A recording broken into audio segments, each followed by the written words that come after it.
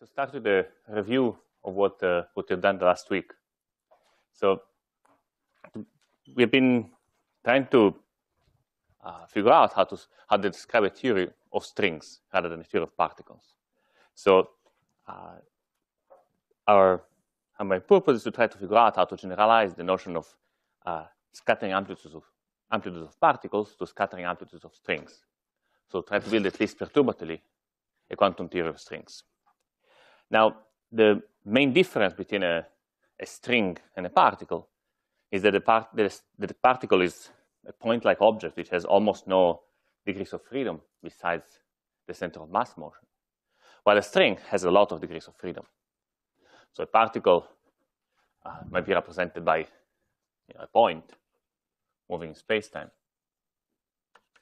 Perhaps it can have a, some extra degree of freedom like a spin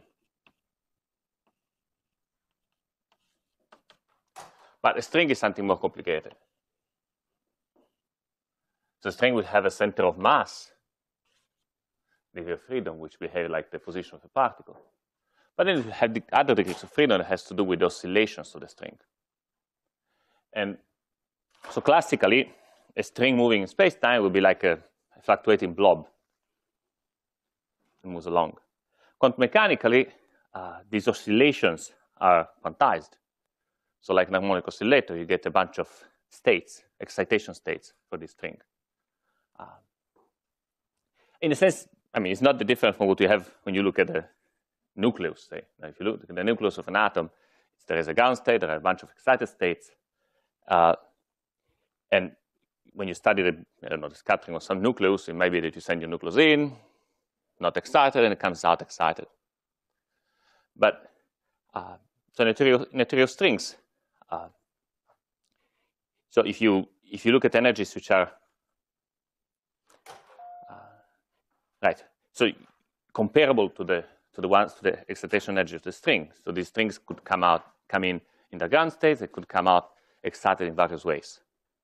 Now each roughly speaking, you can imagine each excitation, each of these excitation states of the string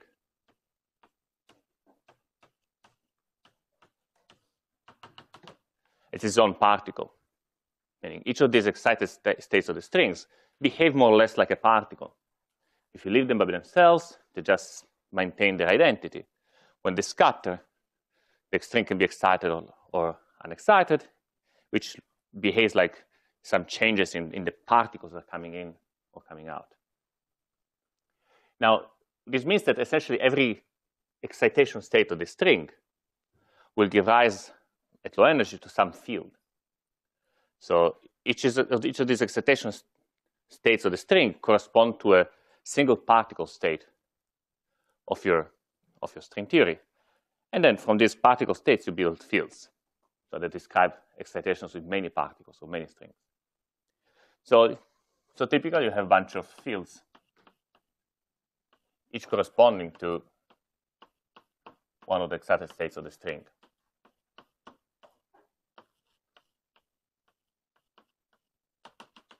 Now, some of these excited states can carry space-time indices, might have non-trivial transformations under rotations. and correspondingly, these fields will carry space-time indices. So they might behave like vector bosons or, I don't know, gravitons or whatever. Now, by, by gauge fixing, by, by adding some extra degrees of freedom and then gauge fixing them, we managed to, in the first lecture, to transform the equations of motions of a, of a string into form which is very convenient, meaning that the states of the string end up being described as uh, excited states of a bunch of free scalars which live on the string worldsheet. So we have some uh, Hilbert space of uh, some free scalars.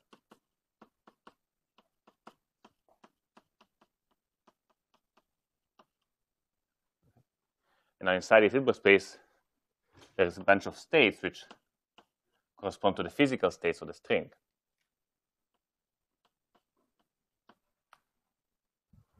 Inside the space of physical states, there are further some space, some states that are null, which decouple from a calculation. So the final answer is that the single particle Hilbert space for the string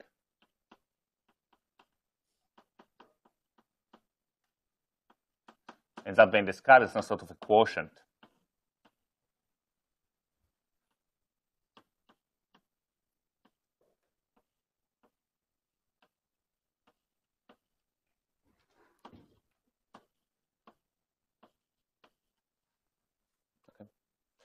Now, this, we described this quotient a bit by hand uh, in a couple lectures ago. These are states that are annihilated by some modes of the stress tensor, and these were states that are generated by some modes of the stress tensor. In the next lecture, we'll do things a bit better with BRST quantization.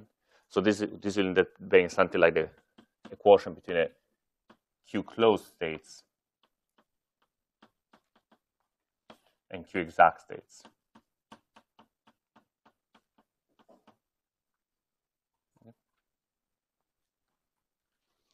So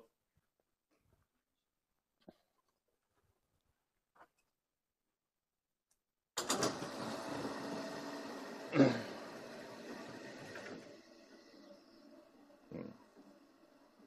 sorry, actually, let me.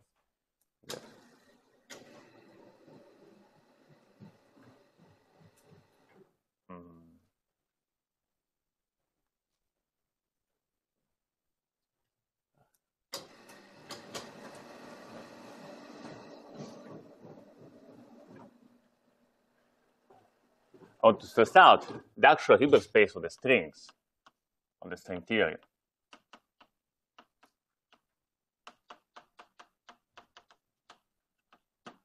is the Fock space built out of that one particle Hilbert space. Now, the space of states of string theory includes the vacuum, states with one string propagating, states with two strings propagating, at least perturbatively.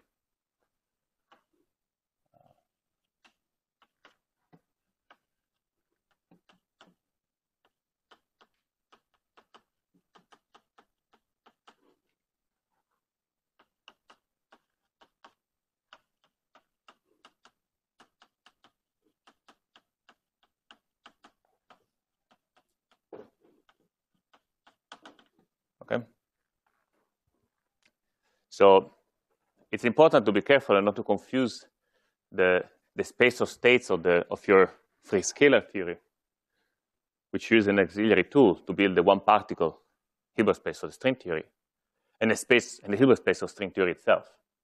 The Hilbert space of string theory is much bigger. So this space H free scalars is also a Fock space. Okay. It's a Fock space of a two-dimensional quantum field theory.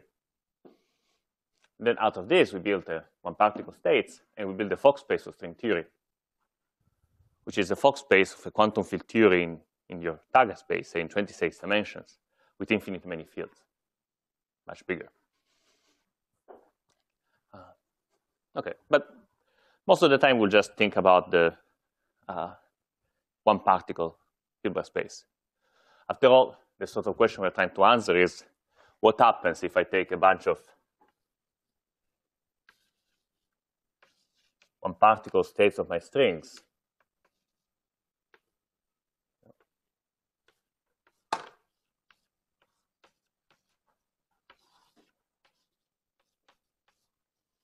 coming from the past and have them scatter into some other states.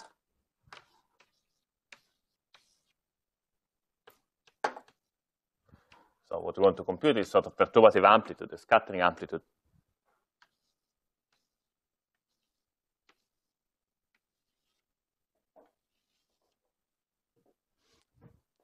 And the nice feature of string theory is that the interactions happen very naturally. You don't need to put them in by hand. But all you need to do is to sort of consider all possible ways to smoothly interpolate between them, between these histories, the incoming history and outgoing history by some Riemann surface, by some surface, two-dimensional worldsheet with a bunch of tubes going to the future and a bunch of tubes coming from the past. So we want to compute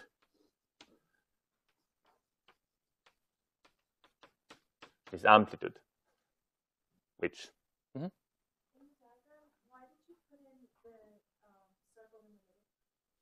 Oh, I was trying to make a loop diagram. So um, I'm not sure this is very, I'm not very good at drawing two-dimensional surfaces. This is supposed to be a donut with a bunch of tubes. Is this, uh, sorry, no. I think I'm doing things even worse like that. Uh, yeah, but uh,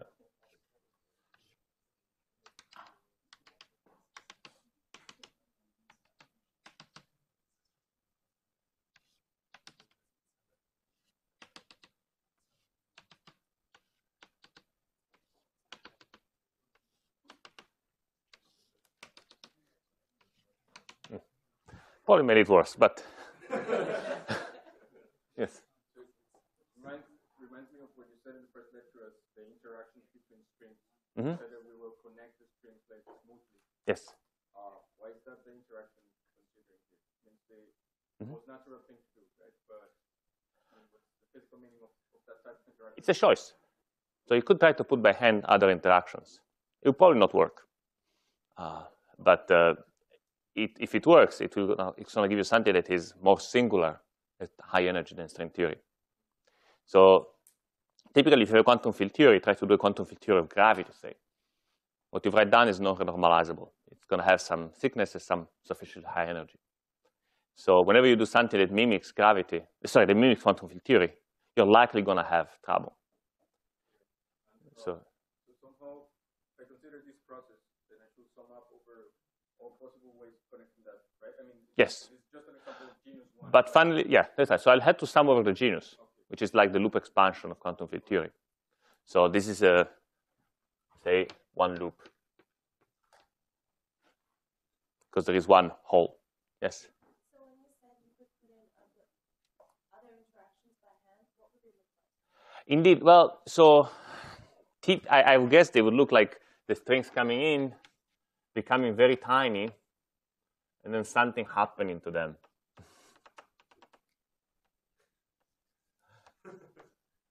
Uh, I mean, because it depends on how, you know, it depends what you want to do. For example, if what you're adding is local in space-time, then, right, so you have your part, your strings becoming, we had to go all to the same point and then coming out of that point. So it look like that. Uh, and then and you have you know, several of these points that come and collide, you'll get the singularities of quantum field theory.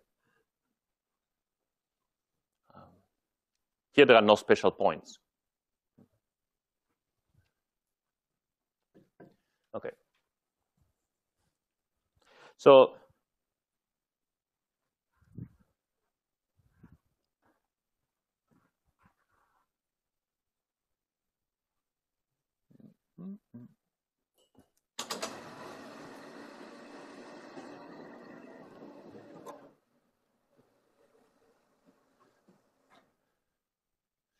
So right, roughly, if you forget for a moment that we have to introduce ghosts and do things properly, the Hilbert space of, uh, free scalars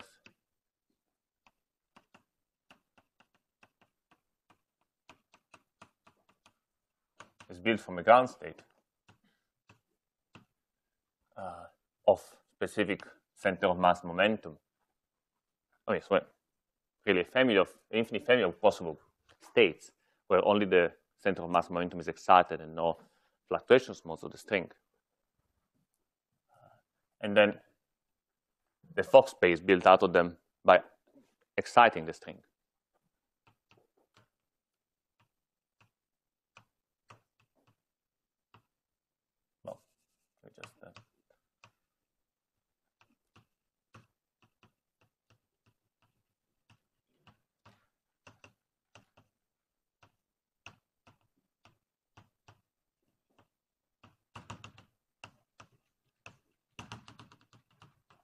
There's whole Fock space built from the from these basic momentum modes out of by using the oscillators.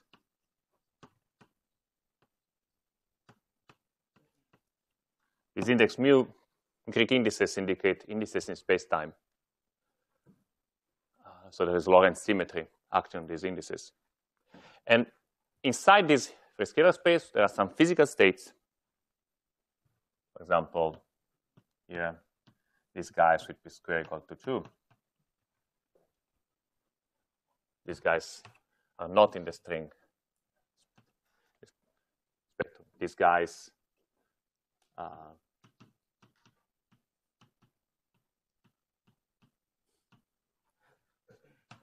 up to some polarization.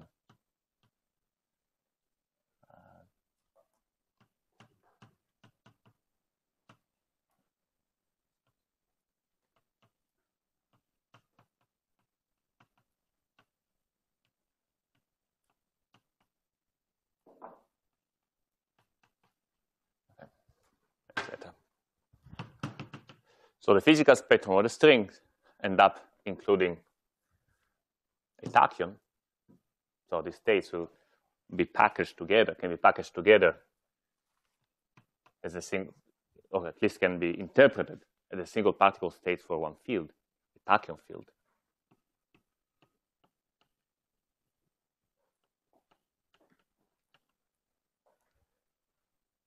Which mass with mass minus two. These states can be collected together in the single particle states of a spin 2 field, massless, a massless 2 form, and a massless scalar, the dilaton. And then all the other fields, all the other states give rise to state, to massive states.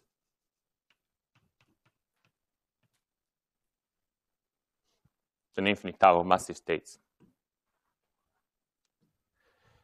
And uh, among some among these physical states, there are some which are null. So it turns out that all the states such that epsilon mu nu is p mu u nu plus u mu sorry p mu p nu are null.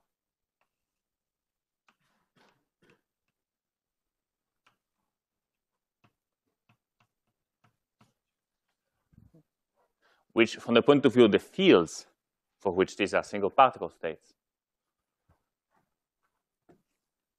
uh, it means that these fields have a rich symmetry. Some of the single particle states of these, these fields decouple from the theory. And they are the states where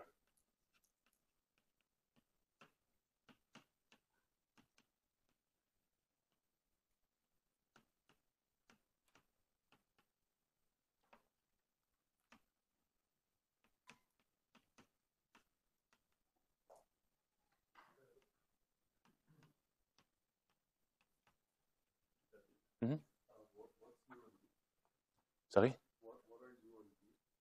So you are just some, num, some, some vectors, whatever vectors you want. So every time you can write a, polarization in this form, this is a null state. Now, if, in going from here to here, I took the symmetric and antisymmetric combination of the of the indices. So this this spin 2 field accounts for the symmetrized one particle states. And this true form accounts for the antisymmetrized. It's convenient, actually symmetrized and traceless. Uh,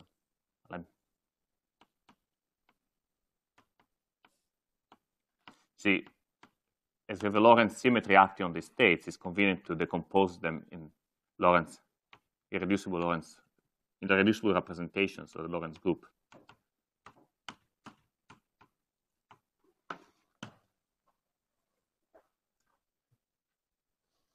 So this gauge symmetry is the gauge symmetry of a graviton. And this gauge symmetry is the gauge symmetry of, a, some sort of weird generalization of a, of a gauge field. And so this is the first uh, manifestation of the fact that string theory always has a graviton. Mm -hmm.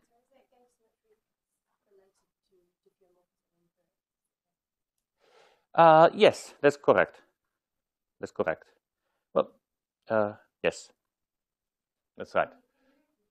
So the on the worldsheet we had a big gauge symmetry I mean, uh, which had to do with the, the fact that we had to introduce a metric to make the action in a way that was quant quantizable, that was the action of three scalars. And then we had to get rid of the uh, diffeomorphisms and also Weyl transformations. So this big gauge freedom up here turns out into a bunch of gauge freedoms for all the uh, states in your, I mean, it, it tells you that the, the Hilbert space of, what the, of one particle state has a sort of form where you have to decouples null states. And right, so that, that manifests itself into gauge freedoms at the level of the, of the, of the fields that come out of a string. Um, actually, for the massive fields, uh, this sort of freedom, these null states. See, the point is, for the massive fields, the null states come into full massive representation of the Poincare group. Just throw them, throw them away, and you're left with some other massive representation of the Lorentz group. But for massless states, things a little bit more subtle, and uh, the null states give, give, give, rise to a, to a gauge freedom, meaning that if there is no way to throw them away uh, by hand and leave everything Lorentz invariant. If you want to get rid of them, you need to do really do a proper uh, gauge fixing.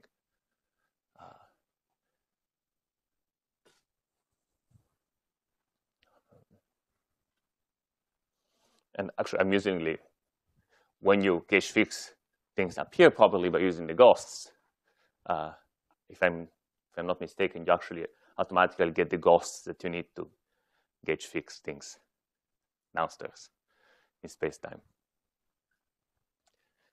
So once you, but this is for, that for tomorrow. So tomorrow we'll do the gauge fixing with all the bells and whistles. For now, let's just uh, focus on the review. So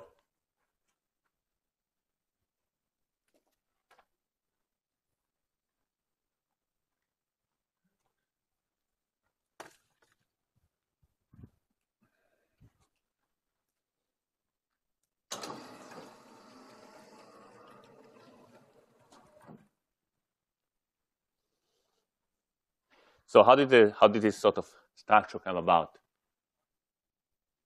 in the first lecture? So we started with some very basic uh, proposal for the action for, for the strings, what's called the Nambu-Goto action, where uh,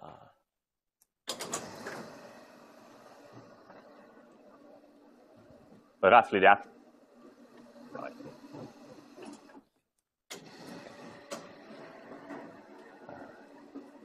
reduction was essentially the area of this surface. Now, quantizing that was too complicated because it's a nonlinear expression. But uh, there is a better option, which is to use the Polyakov action, which is an action which classically reduces to the area action, but is reasonably straightforward to quantize. So the Polyakov action uh, is natural for a bunch of scalar fields which describe the position of your surface in spacetime. So you can imagine them as maps from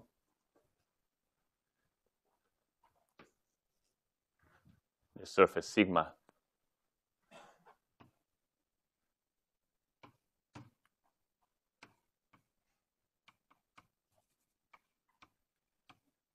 to space-time.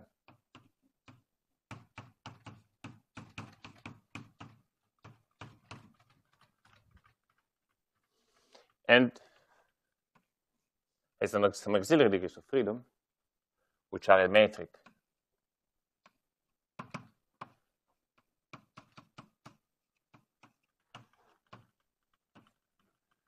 on the Riemann surface.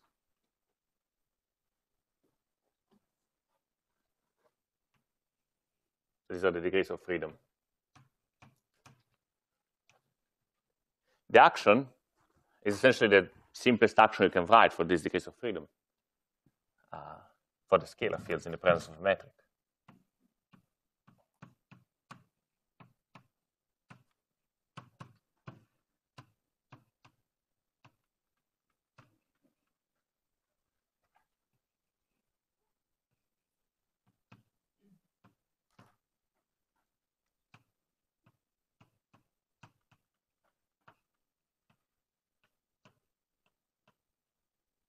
Which is this. I'm raising and lowering indices with the implicitly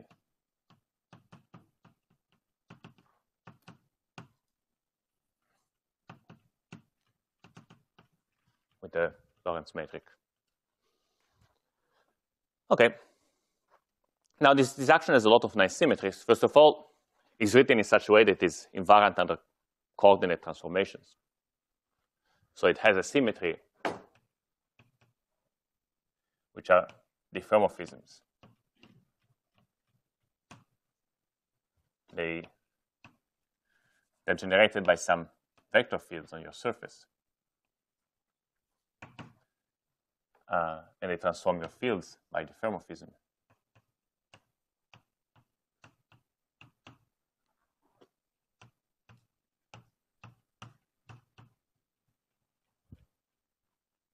And your metric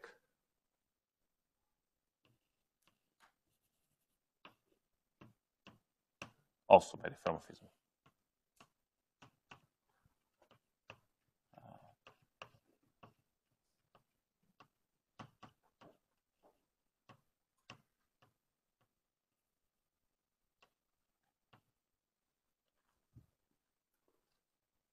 Okay.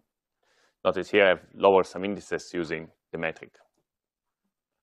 Um, so the metric on the surface. Now, this is, this is sort of expected. What's unexpected is that symmetry, this theory also has a Weyl's symmetry. This is very special of two-dimensional worldsheets, and it's essentially the reason for which you, you can do string theory, but we don't know how to do membrane theory. Say. Weyl's symmetry is very simple. It just rescales the metric.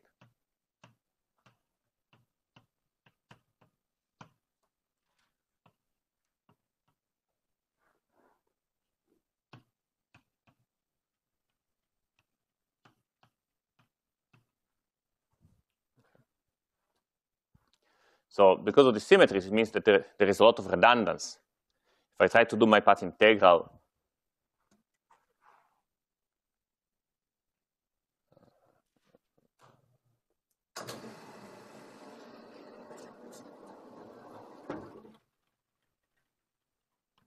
This is a path integral over the fields.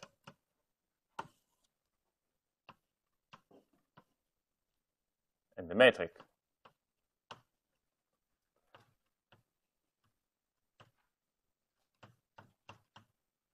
I'm going to get a big infinity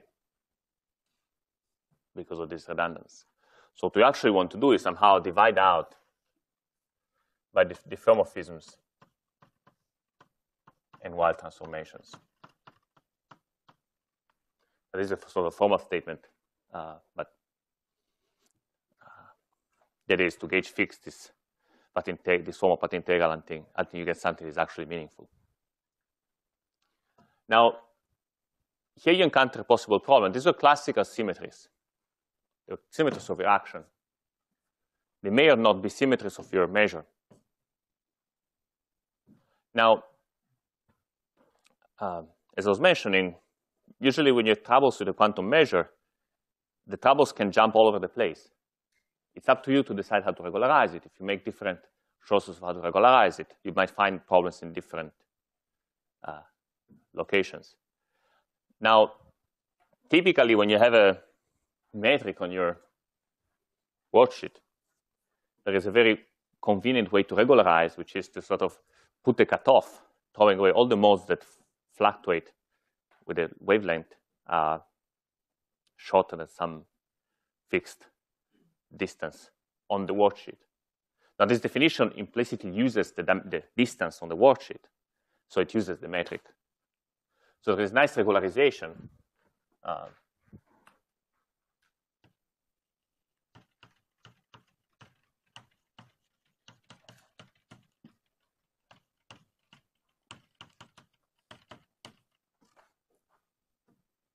uh, which is cutoff based on distance.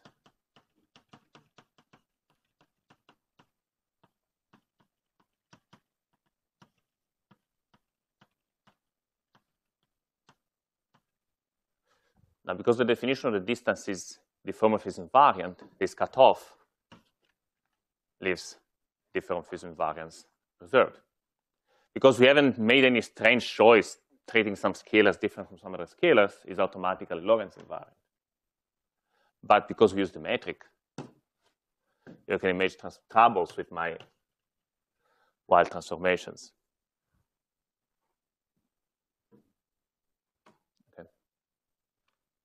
So because of that, it's actually natural to first fix, gauge fix the diffeomorphisms and see what happens. Now, yes, on, on Friday, we, we studied BRST quantization. So we learned how to uh, gauge fix symmetries with, with ghosts and BRST symmetry. Uh, so if you, if, you, if you do that for the diffeomorphism,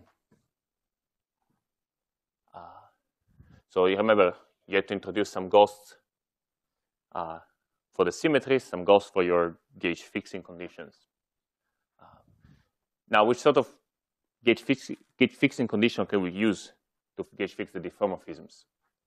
Now, there is a nice theorem. Do I have a free blackboard here?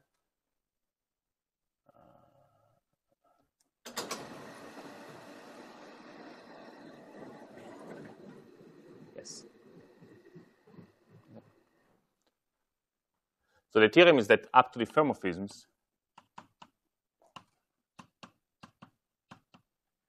every metric on a surface can be put to this form locally.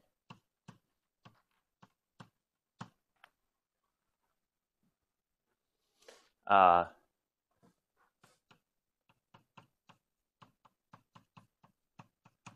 And you can go, you can join the patches by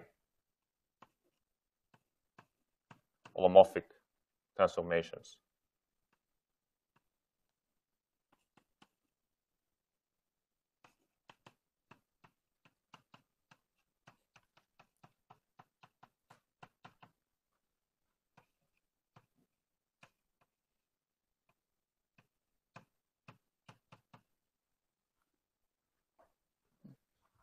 The, uh, the uh, holomorphic coordinate transformation changes your your metric in a very nice way.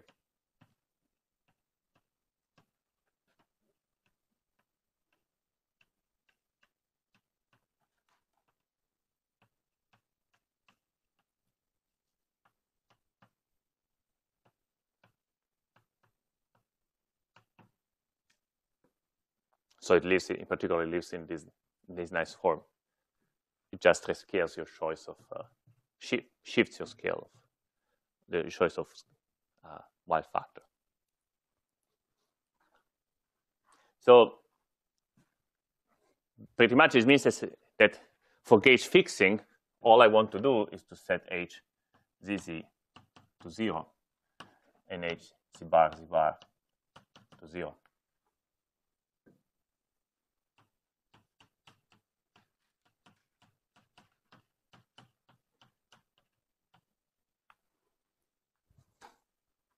Now, you could complain that this doesn't quite fix all the diffeomorphisms, because after all, I can still do these sort of transformations that leave the metric in that form.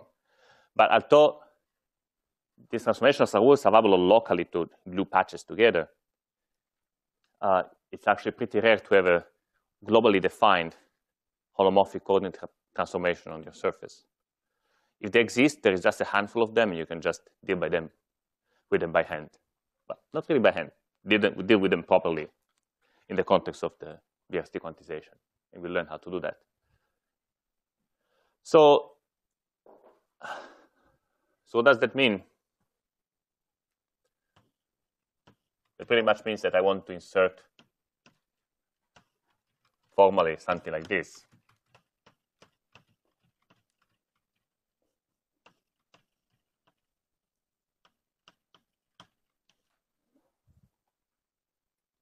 And um,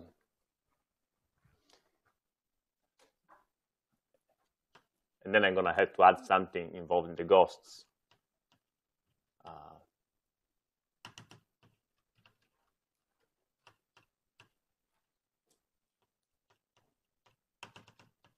for this gauge fixing. Again, I'm not going to go in details today. The details will work, the, work regard the details tomorrow. But roughly, you get a ghost for every gauge fixing condition a big ghost for education condition, and a C ghost for every diffeomorphism.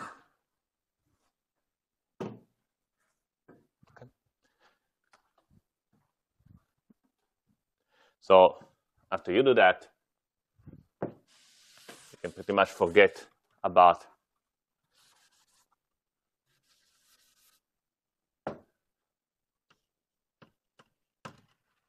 the diffeomorphisms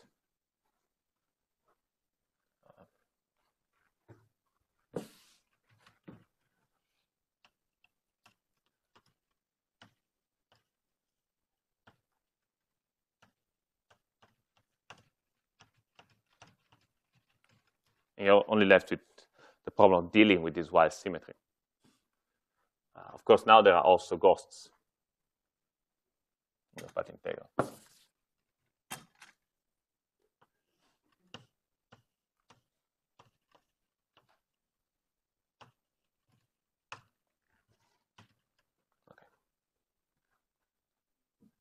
Okay, so now one is ready to, to figure out what's going to happen to the Weyl symmetry.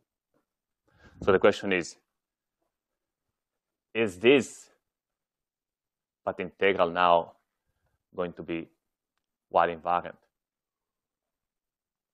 Now, it's actually nice that, as I remarked, the, the Weyl factor completely drops out of the action for the scalars. It actually drops out also from the action from the ghosts. So essentially that means that the procedure of gauge fixing, uh, the diffeomorphism, has not introduced any violations of Weyl symmetry. Or at least if there are any violations, they must be hidden in the path integral for the ghosts themselves. Okay. So, uh, so the question that's left is, is the product of this and this Weyl invariant?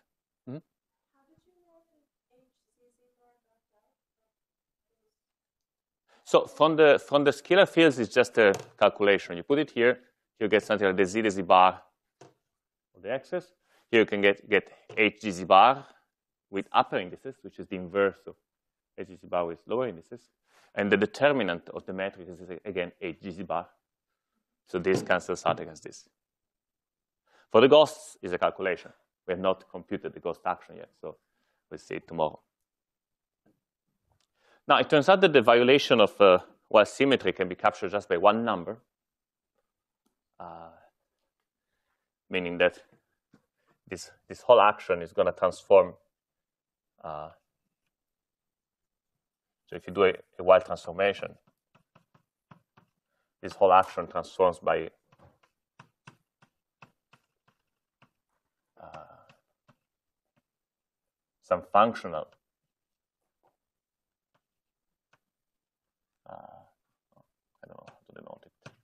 of your Weyl. Uh, so if you do a Weyl transform, sorry, I write it correctly, sorry. So if you do trans a Weyl transformation with parameter epsilon, your measure transforms in a very specific way. Um,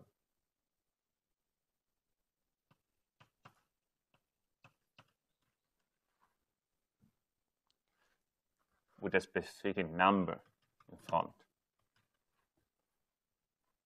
And so the form of the transformation is always the same, essentially, no matter what is your two-dimensional field theory, Weyl invariant, classically Weyl invariant field theory. The number depends on your theory. Mm -hmm.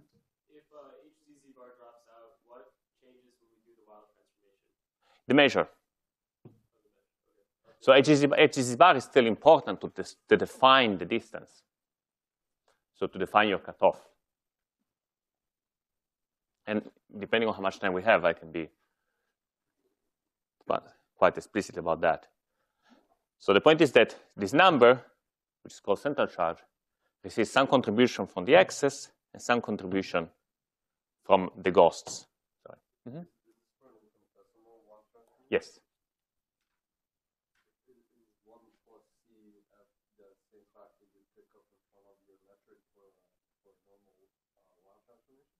No, so this is something that you pick in front of the measure. So this f of epsilon is some function of epsilon. Uh, I could be more specific, uh, but I, have to remember it by heart. Uh, I didn't write it down, unfortunately. It's something like del del bar epsilon plus, um,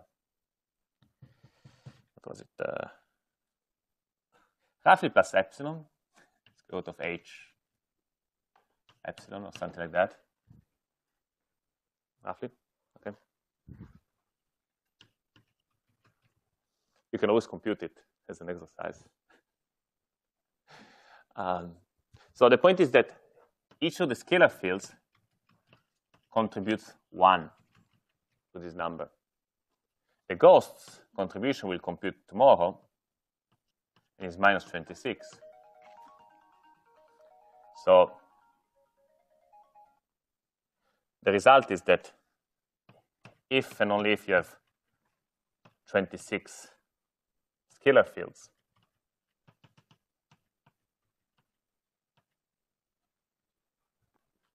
then the total C is zero.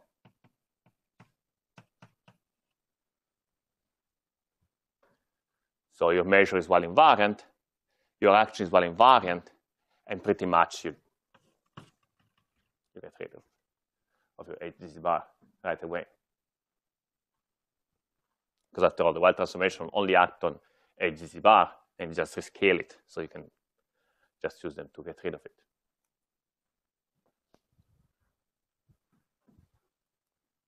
Okay, in principle, you could do it with all the bells and whistles, you know, really add a ghost for the Weyl transformation.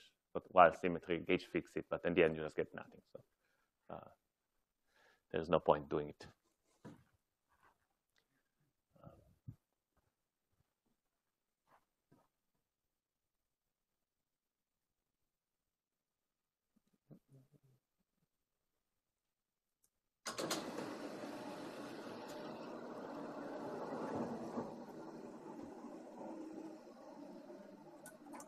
Okay, so how do we how do we learn what what is the at least how do we detect that there is a violation of Weyl symmetry, say in the theory of a free scalar or the theory of the ghosts? And how do we quantify that, that, that violation?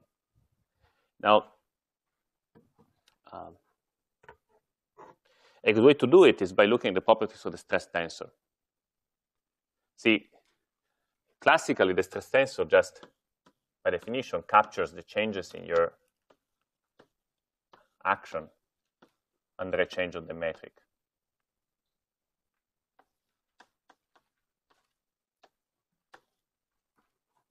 Just say the stress tensor for the for the scalar fields.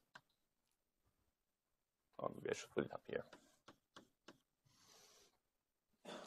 Uh, quantum mechanically, there is a stress tensor operator, which is roughly doing the same thing, meaning that uh, if you have a correlation functions of a bunch of operators,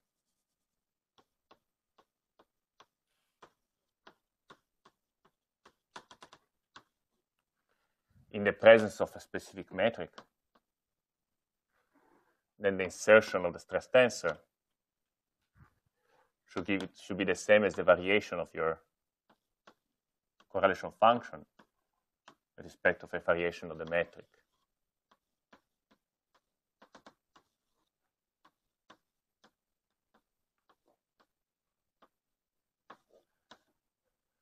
Ah.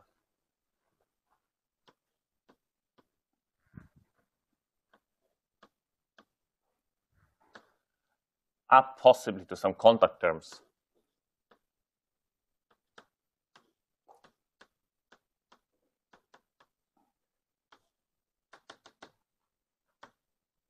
which have to do with the fact that the definition, the very definition of your operators might actually depend on the definition of, on your source of metric. Uh.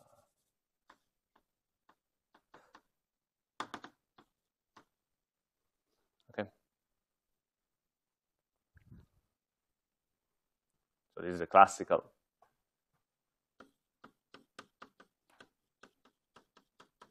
This is the quantum mechanical. Now,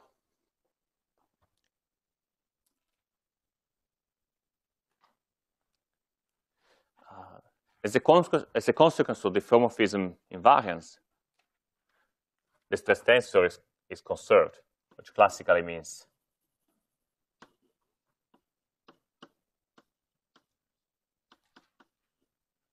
something like that.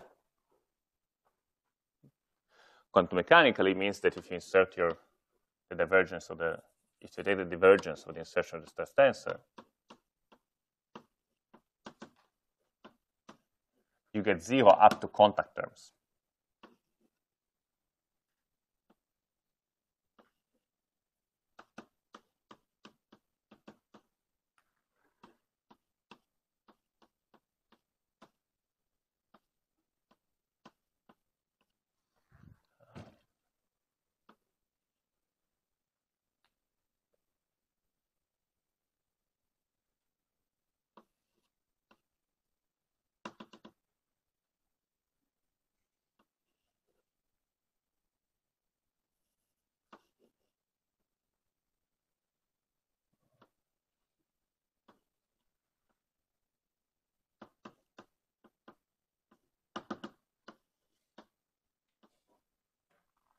Which means that the divergence, divergence stress tensor inserted in your correlation function gives you essentially zero up to some contributions at the, which appear only if your uh, stress tensor was really colliding with some of the operators, in which case it gives you the, the action of this, uh, gives you a translation of the operator, the action of the diffeomorphism over your operator.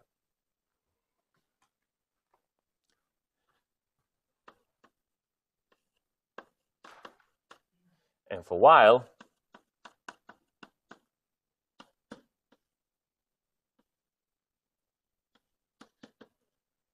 classically, the if, if a Weyl symmetry is a classical symmetry, you expect the stress, the trace of the stress tensor to be zero. Quantum mechanically, if a Weyl symmetry is a is a symmetry of your theory, you expect again the trace of the stress tensor to be zero up to contact terms.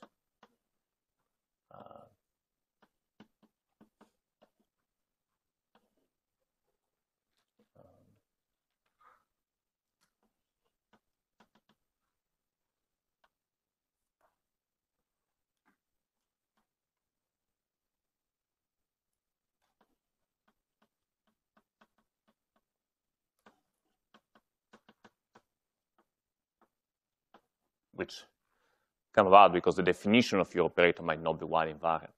Typically, if you have an operator, uh, a classical operator, when you try to define a quantum operator, uh, so if you have a classical expression, you try to define a quantum operator, uh, there might be some divergences, there might be some regularization, like point splitting. Do and this regularization usually implicitly uses the metric. So the definition of the operator might change under a Weyl transformation. Okay. Now, this sort of contact, contact terms, these sort of delta functions that only appear when your operator is sitting on some on top of something else, are typically uh, no, they're, they're well defined up to a lot of freedom in redefining your operators. Uh, but, but sometimes you can make some rigorous statements about them. Uh, clearly, you cannot really detect them if your operators are just sitting at different points. But you can detect them if you say consider uh, deforming your action by the integral of some operator over your whole uh, space, because then this integral is going to pick up the delta functions.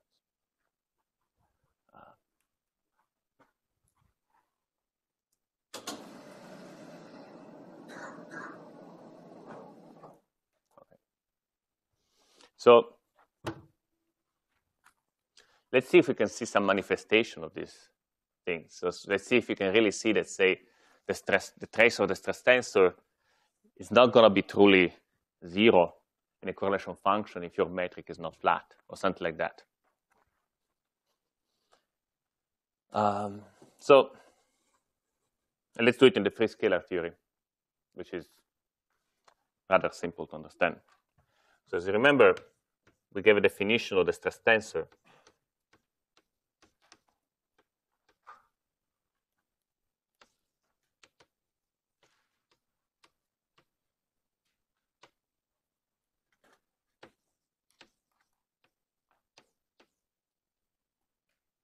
Uh, let's just call it S because so remember last in the second lecture, I think we were working on the cylinder. We studied the free scalar on the cylinder. And we learned how to compute correlation functions, uh, various operators. Okay. So we give this definition. Now, there is a lot of lot going on implicitly under this definition. See, we use this to cancel the singularity. This is implicitly assuming that we were working with a flat metric on the cylinder. So uh,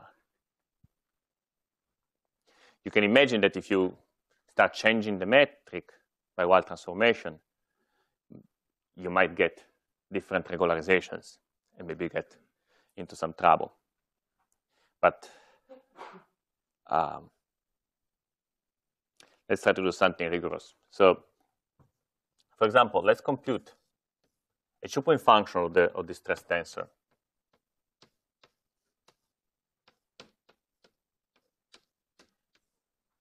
Uh, on the cylinder. So I set my space-time, I put a vacuum in the past and in the future. I pick two points S and S prime and put a stress tensor at each of them. Okay. I can do this computation directly from the definition, or I can do it by using the, the, the Virasoro algebra, which we also computed in the previous lecture.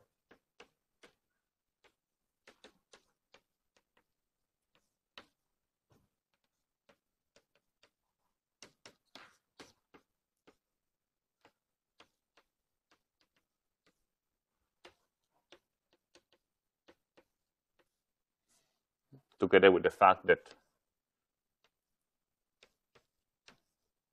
the positive modes kill uh,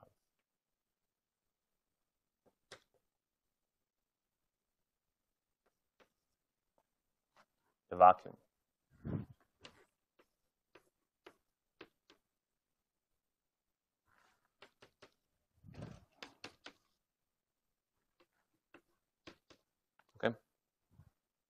So I can just plug in the, the definition, the, the, expand, the Fourier expansion of the stress tensor.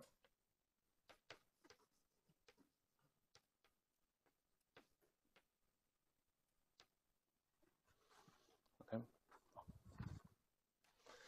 I can plug it here. A lot of terms will just drop out because the positive else kill this and negative else kill that. In the terms that don't, in the terms that don't drop out immediately, I can use the commutation relation to bring, say, a negative guy from here to here, and then it kills the other side. So all that you have left with are the contributions from the commutator more precisely, only the commutators which give me something which don't kill everything. Doesn't kill everything. Um, sorry, actually, I should just put this. Sorry. So what you actually get is something like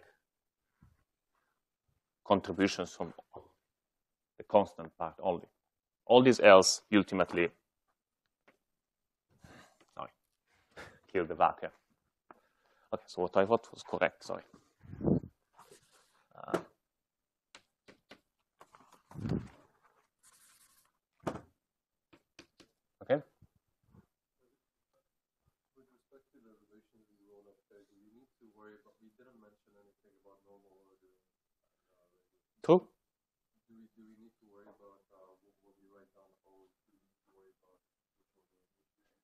Pick your definition. That's why I put these deltas.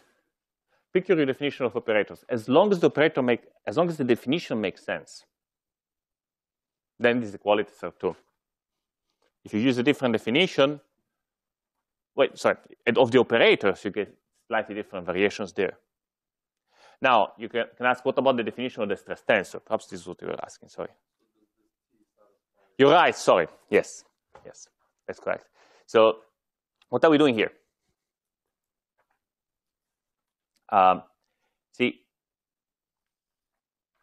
by define, by regularizing the stress tensor, what we're really doing is essentially defining the measure of my path integral implicitly. At least it's, there is an implicit definition of how the measure is going to change when I change the metric. If you want to define the stress tensor in flat space, then uh, if I want to know what is the stress tensor in some other metric, or if I want to do a change in the metric, uh, I can insert this stress tensor and see what happens. Um, sorry, I'm not saying it very well. Let me say it better. So suppose you regularize your stress tensor in different ways. What's the result? So all the regularization will differ by adding some C number to your stress tensor, something that is not an operator, something that is a number. So if you insert a stress tensor with different regularizations inside these correlation functions, what's, what's going to give, give to you is an extra term.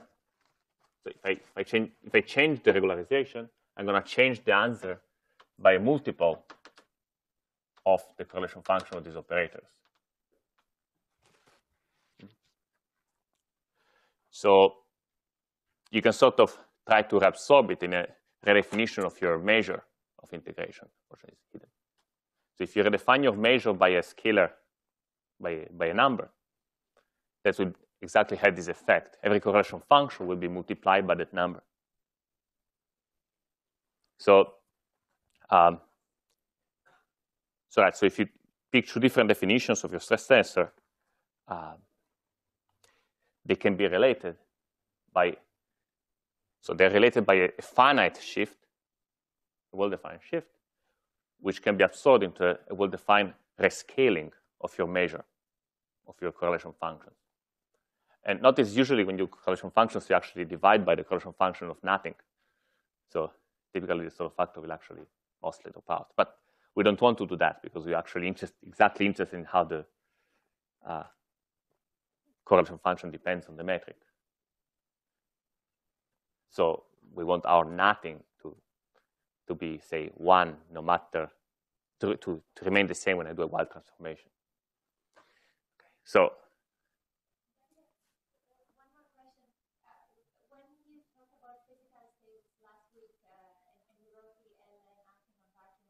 Mm-hmm.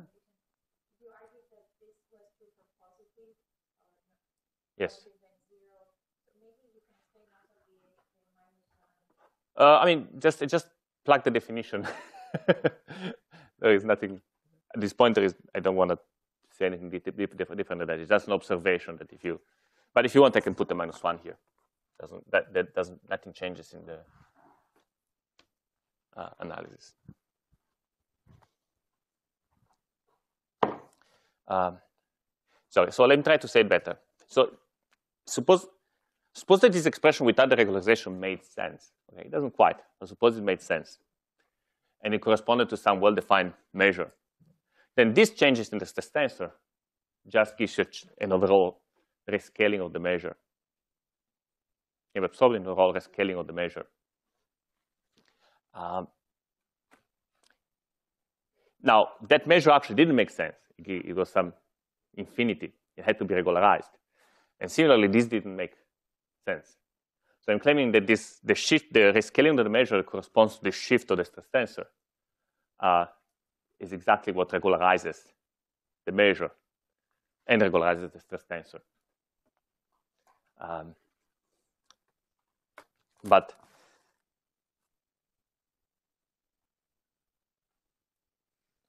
okay, so let's let me let me just time is short. So let me just say, when I pick the regularization of the stress tensor, I picked implicitly a regularization of my measure. Okay. So so now let me compute this two-point function.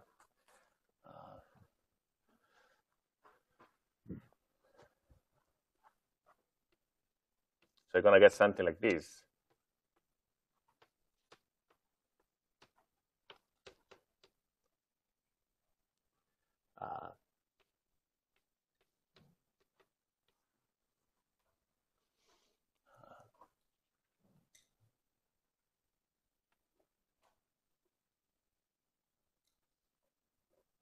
Think, uh, check me on that. But so the final answer is supposed to be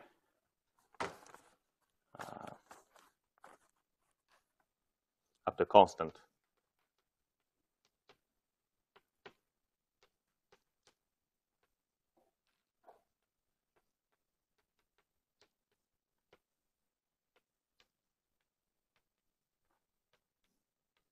So what I wanted to get to was just the statement that if there was no central charge, the two-point function of the stress tensors would be very mild. Would be just some constant, no singularities. But because there is a central charge, then you get a singularity in the two-point function of the stress tensors. Now, why, why should this worry me? Well, suppose I'm trying to check conservation, the diffeomorphism invariance. Okay? Diffeomorphism invariance is the statement that del bar, del s bar TSS plus del s TSS bar is zero. Okay. And uh, if I if I try to do it here, so I try to do inside this correlation function,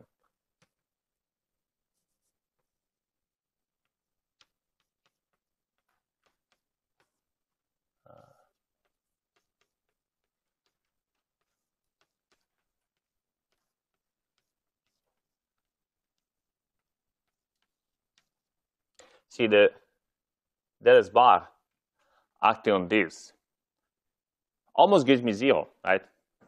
It gives zero everywhere, except when S and S prime coincide. So roughly, uh, right here, the S of this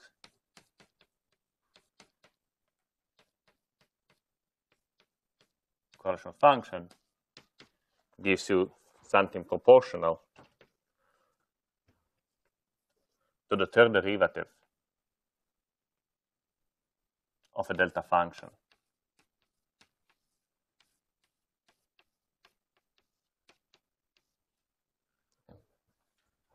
See, I'm using essentially the fact that del bar of uh, 1 over s minus s prime it's just del, the delta function. Now here I have a divergence of order 4. So I can get it from here by doing three derivatives. So in general,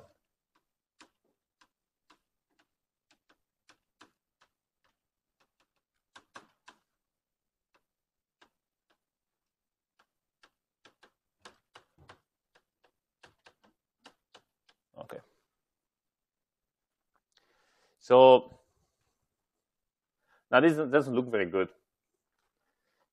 because inside this sort of Ward identity for diffeomorphisms, we are, we are supposed to just get translations, the effect of the diffeomorphisms on my stress tensor.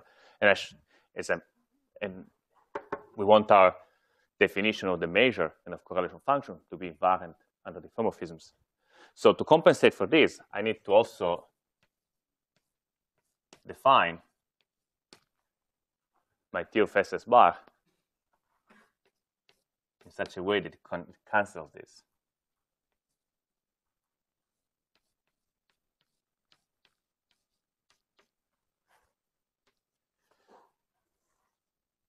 Luckily, this is a derivative respect of S.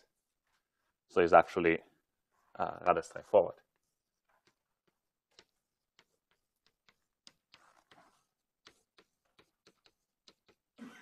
Okay. So whatever is my definition of the measure, if I want to do things in a way that is diffeomorphism invariant, I'll have my T of SS bar will have some contact terms with my first tensor. Now, all of this was done in a flat metric. Now, suppose I, I want to change my uh, but I can use this to compute the, the expectation value of TSS bar in the presence of a metric which is infinitesimally close to being flat.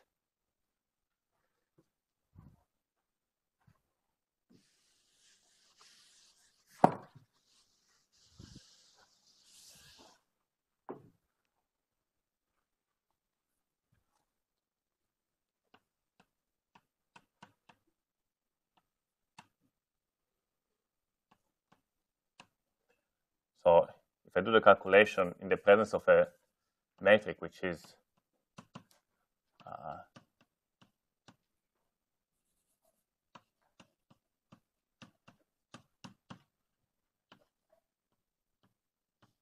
infinitesimally close to the flat metric.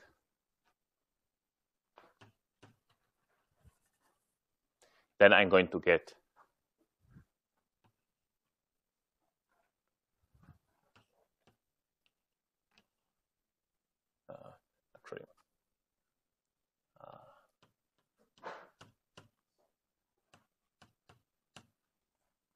something like that. So you see, um, this is a, a, way to understand why, why people say that this central charge which appears here in the Virasoro algebra is related to the lack of Weyl symmetry of your theory. Mm -hmm. You TS S bar, TS bar S bar, right? No, no, SS bar. So I, uh, sorry, I remember that if I want to change the, the S bar S bar component of the metric, I need to add SS because we raise indices with the.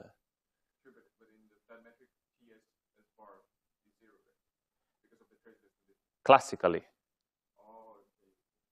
So this is showing you that if you want to do things in the quantum theory in a way that is invariant, where things are invariant under diffeomorphisms, and you have a, a central charge in your in your Virasoro algebra, you are going to get in trouble with Weyl symmetry because the one-point function of your trace of the stress tensor will actually be non-zero if, if, there is a non-trivial metric on your manifold. Uh, this is only infinitesimal. The, the, the, the, full statement is that TSS bar equal is proportional to the central charge times the Ricci scalar. So this is the full statement. It's called the Weyl anomaly. So general and quantum field theories, which are uh, classically Weyl invariant, you get this sort of quantum expressions where the stress of the stress tensor is equal to some complicated, uh, no, some polynomial in the curvature. In two dimension, this is the statement.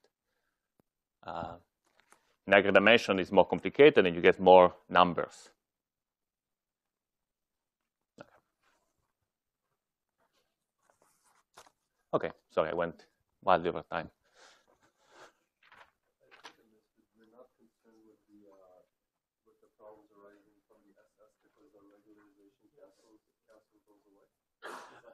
Well, I mean, I, I, this was a sort of a very roundabout way to learn about Weyl problems with TSS bar, starting with things we know about TSS.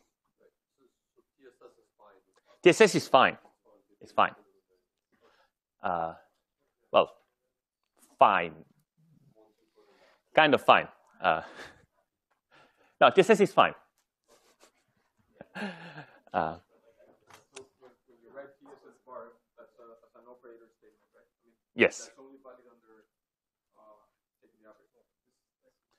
Yes. So if you want, presumably, if we did this in point splitting, we would have ended up with the same result. So if you've done the, the, the two-point function of del x, well, sorry, it's tough to say, right?